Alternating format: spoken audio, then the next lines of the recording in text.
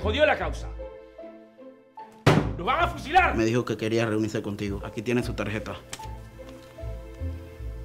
1162 Waldorf Astoria. ¿Y dónde está el viejo? Eh, él no va a volver pronto. Tuvo que irse a Estados Unidos. A visitar a mi hijo, que está enfermo. ¿Y cómo ve la situación, profesor? No sé si has visto el artículo del periódico francés Le Matin. Esa es la única salida ante la negativa del Congreso colombiano. Boner Valera. Bruno Varila.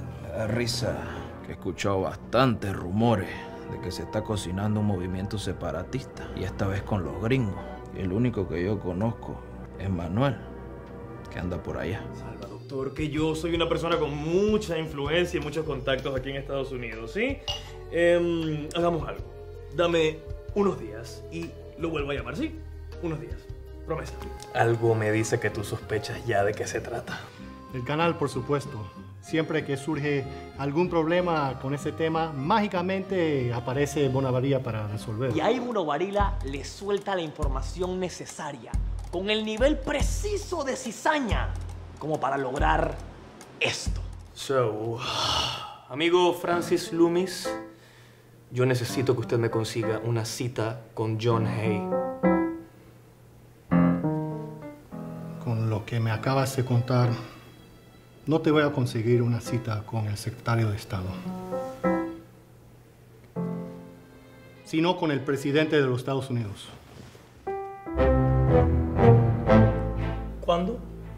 Ya mismo.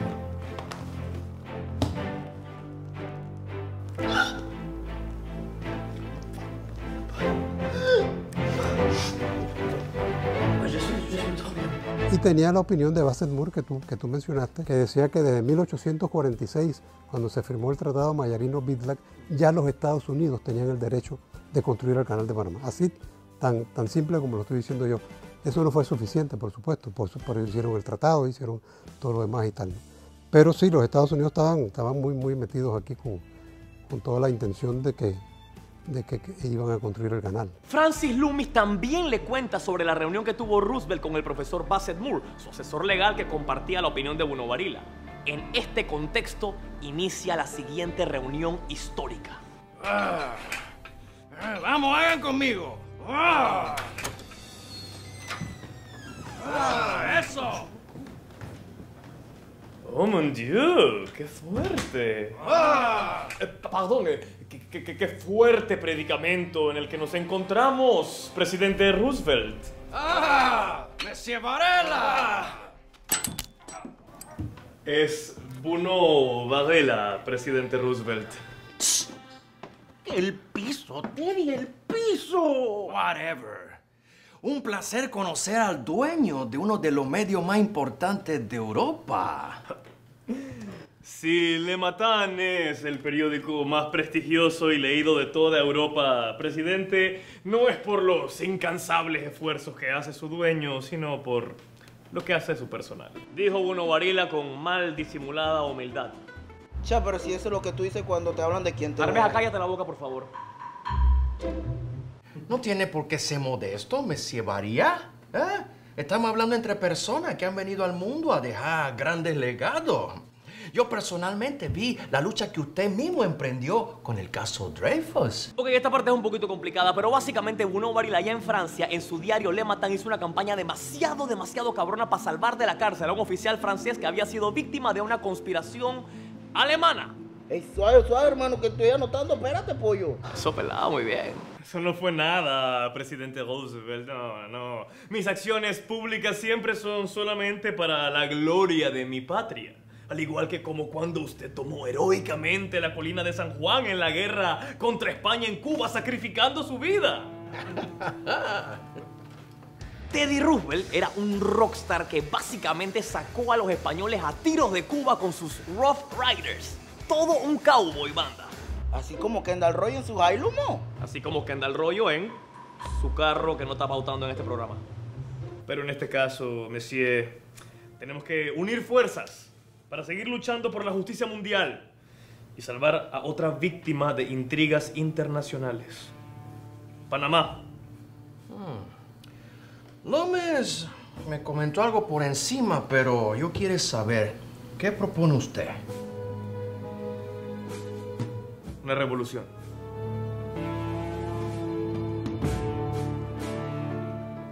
El tablero está puesto. Y las fichas también. El Tratado Mayarino-Bidlack de 1846 los obliga a ustedes a proteger Colombia de cualquier ataque extranjero. No habla en ningún punto de revoluciones internas. El mismo tratado los obliga a proteger la línea del ferrocarril de cualquier tipo de ataque. Piénsenlo. Si ustedes me colocan buques en cada extremo, yo puedo concretar mi re- nuestra revolución e independizar a Panamá. Y ustedes podrían negociar con un nuevo país que está dispuesto a darlo todo a cambio de su libertad y de nuestro canal. El presidente of the United States no puede alentar movimientos separatistas ni revoluciones. Además, ante la comunidad internacional se vería muy, muy, muy mal eso. Es, más, eh, por sobre todo por nuestros precedentes. Y mucho menos contra Colombia, con quienes en teoría mantenemos relaciones. Le agradezco su visita, Monsieur Barbilla. Muy agradecido por su tiempo, señor presidente. Loomis le muestra la salida a Monsieur. Después viene que quiero hablar unas cositas con usted. Conozco el camino, no se preocupen. Permiso.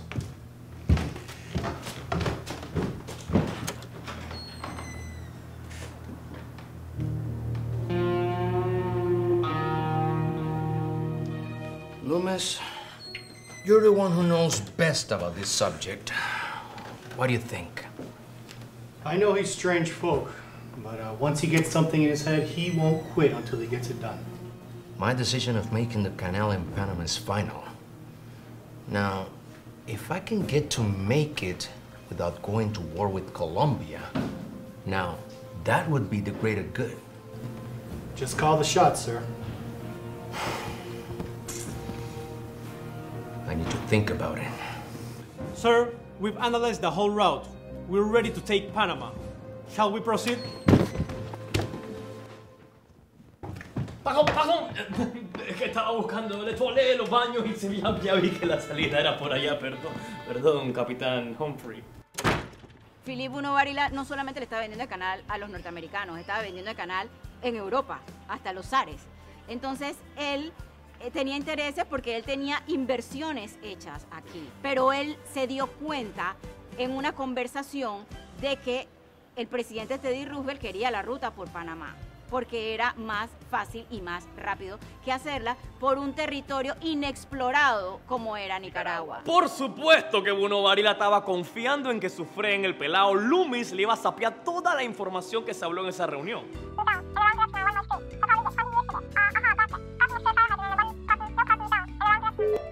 Oh, tasse-toi! Putain de salope, je me chie dans la merde!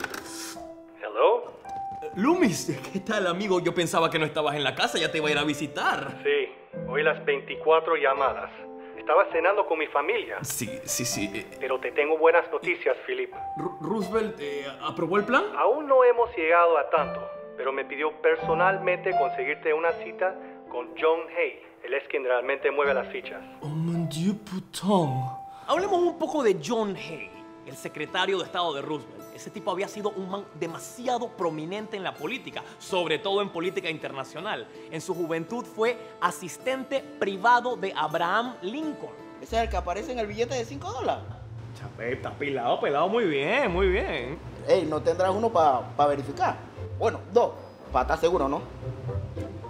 Había sido también secretario de Estado del presidente anterior William McKinley, a quien asesinan a balazos y por eso es que Teddy Roosevelt queda de presidente.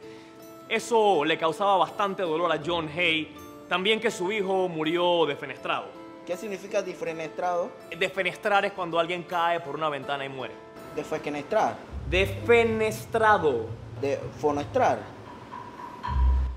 John Hay no quería quedarse con Teddy Roosevelt después de la muerte de McKinley, porque no sabía si iba a poder domar a ese toro. Pero Roosevelt no lo dejó renunciar porque él sabía que necesitaba el conocimiento, sabiduría y política internacional de John Hay para poder seguir sus planes y quedarse en el poder. Y eso lo iban a demostrar a continuación. Confirmo entonces tu presencia y la del representante panameño. No, no, no, no, no, no, no, mon ami, mon ami, no, esto, ah, no, no, no, no, para nada. Eh, no podemos dejar que esa chusma se mezcle en nuestros asuntos. Serían capaces de estropearlo todo, de verdad. No, no, no. Esto requiere la eficacia francés. Miren cómo tiene ellos eh, ese su país, como lo tienen ahorita mismo. No, no, no. Solo confírmame a mí, señor. ¿Sí? Ok, pero su llamada.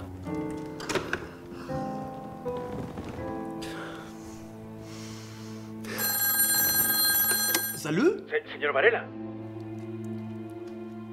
Jones. Jones. Smith, recuerda el código. Ah, verdad. John, ¿cómo va lo nuestro? Estoy listo para moverme a Washington. ¿Sabías que el machetazo lleva más de 50 años siendo el gran almacén de Panamá? Pero no solamente es ese gran almacén en la parte comercial, también son pioneros en la responsabilidad social, siendo uno de los principales y más importantes patrocinadores de la Teletón 2030, identificándose siempre con las causas más sensibles de nuestro país. Panamá da y al que le devuelve siempre le va bien. Y esto es un ejemplo para todas las otras marcas panameñas. El machetazo se bajó del bus para hacer este parking histórico y esta es mi forma de decirles gracias al Gran Almacén de Panamá. Vamos a ver cómo va su progreso histórico. ¿Quién diseñó la bandera oficial de Panamá en 1903? Manuel E. Amador, María Osa de Amador, Ida Bunó Varila. La respuesta al regresar.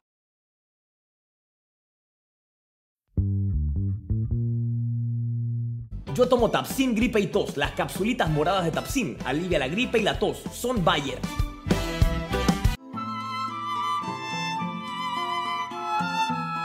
La bandera oficial de Panamá la diseñó Manuel E. Amador, hijo de Amador e hijastro de María Osa, que fue quien la cosió. Smith era el nombre clave de Amador en la comunicación secreta con Bruno Varila, quien era Jones. Ese era como su usuario de Instagram, hermano. Cha, yo me hubiera puesto el chiquito guapo felipillense 507, hermano. No, no, no, no, no, no, no, no, no hace falta absolutamente nada que usted se venga para acá. No, usted quédese tranquilito en Manhattan y yo estoy de vuelta ya el 13 o el 14 de octubre, ¿sí? Ah, pero estoy aburrido, loco. Póngase entonces, no sé, a ver algún musical o algo así, pero quédese quieto allá, sí, quédese quieto. Y, y- lo, lo- te llamo ahora porque te- estoy entrando en un túnel, ¿oíste? ¿Cómo así si el teléfono es fijo? Señal, se me... A pesar de que el tiempo era demasiado esencial, tenemos que entender que para Estados Unidos el canal de Panamá era una de las miles de prioridades de ese país. Y mientras Amador y Bueno Varela se enfocaban en un territorio de 75 mil kilómetros cuadrados, a John Hay le tocaba ver uno de más de 10 millones.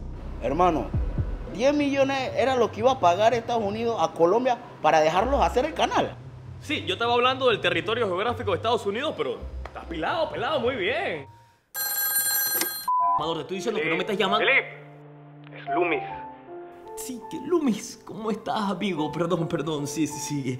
Eh, ¿Algo nuevo? Mira, ella anda un poco mal de salud. Te puede atender el 16 de octubre. Sí, yo, yo, yo espero, no pasa nada, yo espero. Sí. Lo bueno es que sacó suficiente tiempo para atenderle con, con más Bueno, calma. bueno, digo, to- digo, eh, parfait, parfait, mon ami. Sí, sí, perfecto, perfecto. Ahí te veo. O a él, o, o quien sea que esté ahí. Voy a tener que irme a Nueva York ya antes de que Amador haga alguna locura. Así que bueno, Varila toma un tren de vuelta de Washington hacia Nueva York y le cuenta parte del plan a Amador. Hermano, ese Bruno Varela se agarraba tren, friend. Cha, yo hubiera agarrado un Diablo Rojo que sale más barato, un VIP. Bien relajo con la tandita ahí. Arveja, bueno, Varila era un man de mucha plata, así que no le metas mente a eso específicamente.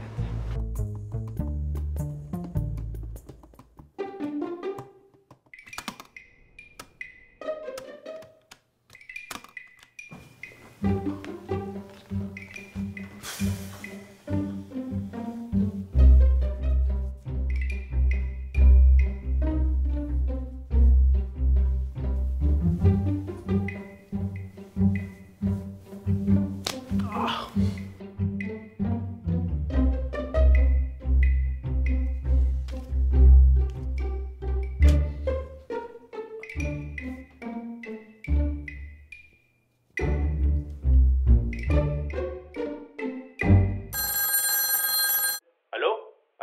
Bonjour, Smith. Le habla Jones. Ya volví a la ciudad, así que... Habla, compa, estoy aquí. Motro, de una, me apuntadísimo. ¿Para dónde vamos?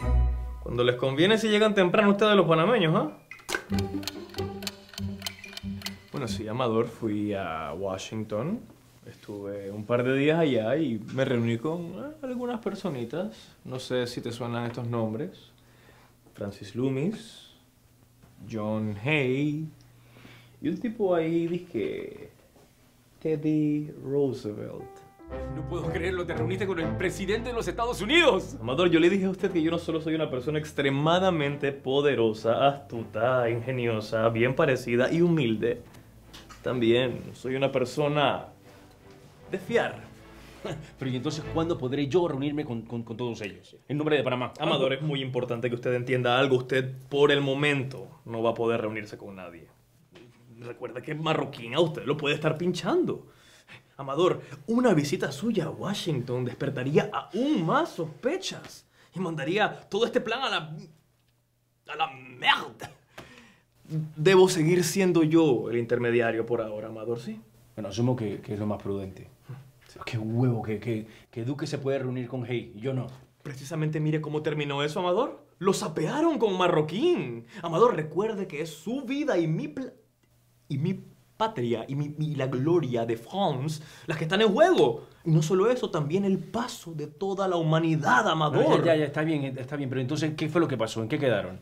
A ver, me reuní con Teddy, em, le conté el plan y está de acuerdo con el plan. Eso es genial. Y lo más importante es que ya no van a hacer falta los 6 millones de dólares que está pidiendo.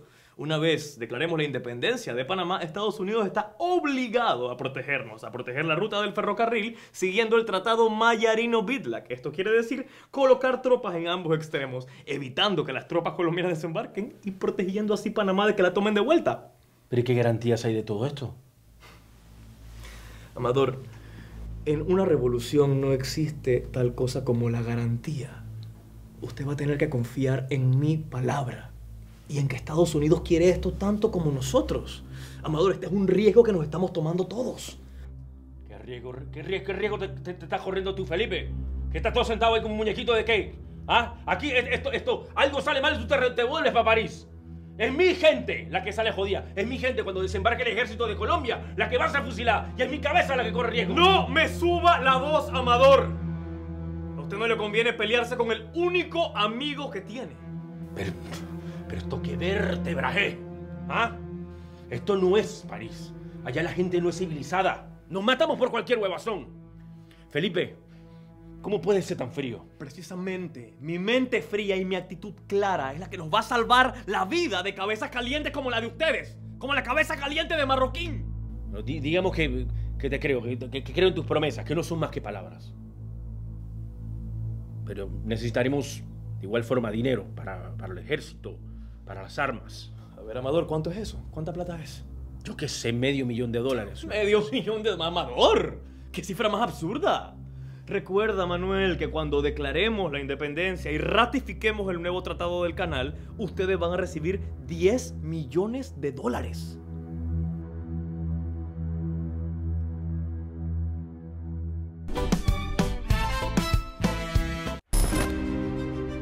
Muy pocas personas saben esta parte de la historia, pero una vez Panamá se independizó, había mucho que reconstruir y mucho más que construir, sobre todo después de la guerra y la miseria que azotaban el istmo. Era muy tentador usar los 10 millones de dólares que Estados Unidos pagó por el canal, y por eso los próceres crearon el Fondo de la Posteridad. De los 10, con solo 4 resolvieron los problemas actuales y usaron 6 millones para invertirlos en bienes raíces en Nueva York, para que esa plata le generara más utilidades a la nueva patria, bajo la premisa de que los fondos del país no son solo para las generaciones actuales, sino para todas las generaciones futuras. Asimismo debemos actuar con nuestros ahorros, algo para el presente, pero siempre algo para el futuro. Mejora tu vida, ten paz mental y da un paso más hacia cumplir tu gran sueño con los tips de planificación, ahorro y presupuesto de nuestra familia de Bacredomatic en aprendiendo.bacredomatic.com. Bacredomatic hizo posible este parking histórico. Hagamos planes. José Domingo de Ovaldía fue nuestro segundo presidente y el último gobernador de Colombia en Panamá. Tuvo que tomar la difícil decisión de voltearse al gobierno de Marroquín para ayudar a la revolución panameña. Fue parte de la conjura y la conspiración y hubo que darle casa por cárcel, pero en la casa de su amigo Amador. Hoy muchos lugares en su provincia, Chiriquí, llevan su nombre. Este fue un ícono panameño. Lo que hace al ícono son sus fans. Lleva a tu casa KFC, el verdadero ícono de las mesas con el Big Box recargado que incluye dos presas de pollo, un popcorn chicken, dos acompañamientos regulares y soda por $6.99. Ordénalo por WhatsApp al 236-5555. Gracias a KFC, el verdadero icono de las mesas. Ordena tu Mega o Big Box al 236-5555.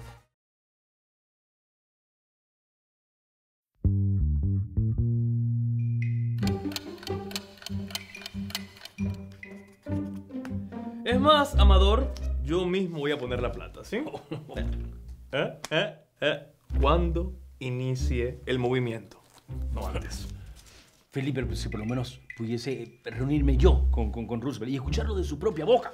Amador, te prometo que voy a hacer todo lo posible, pero no te puedo garantizar nada. Ahora hazme un favor, ¿sí? No hagas ninguna locura.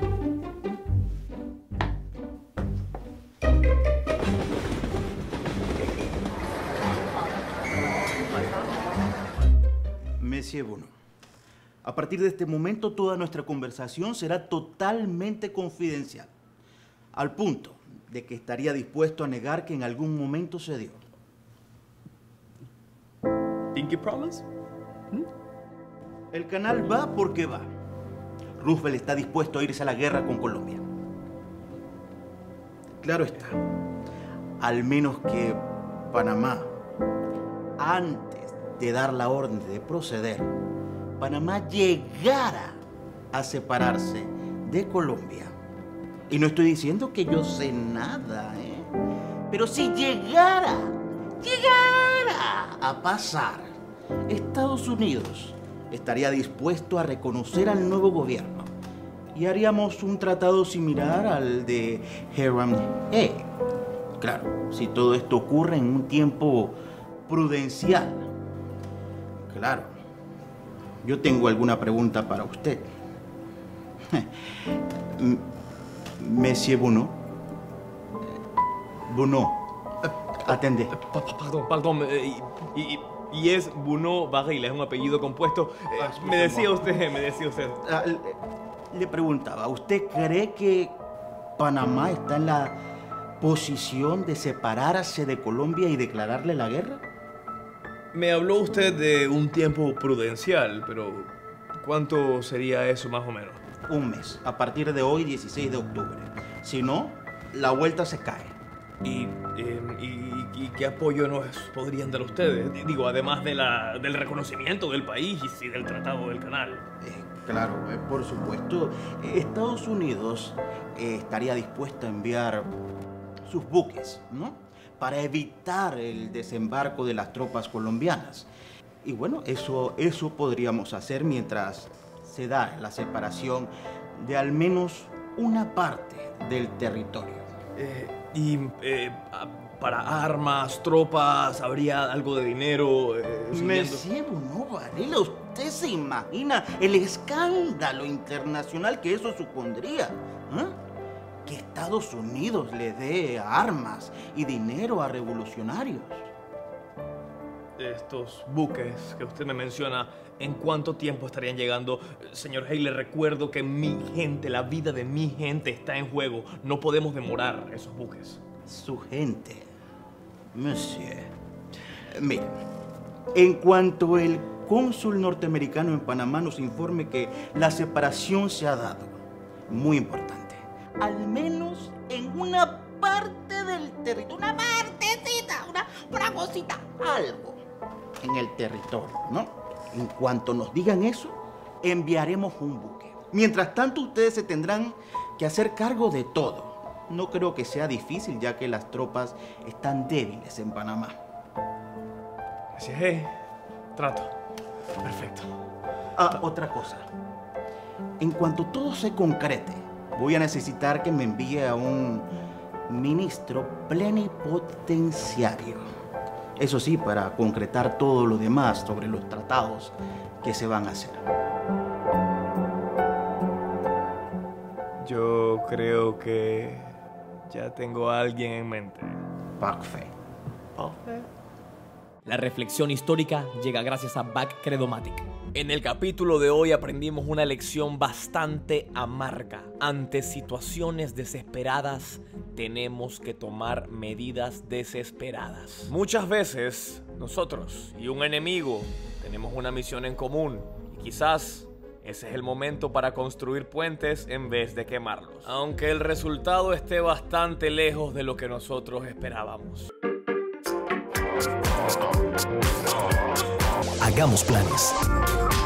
Bacredomatic. 30 minutos en 30 segundos llega gracias a Tapsin Gripe y Tos. Con lo que me acabas de contar, no te voy a conseguir una cita con el secretario de Estado, sino con el presidente de los Estados Unidos. Tenemos que unir fuerzas para seguir luchando por la justicia mundial y salvar a otra víctima de intrigas internacionales. Panamá. President of the United States no puede alentar movimiento separatista ni revolución. Mientras tanto, ustedes se tendrán que hacer cargo de todo. No creo que sea difícil, ya que las tropas están débiles en Panamá. Gracias, hey. Trato.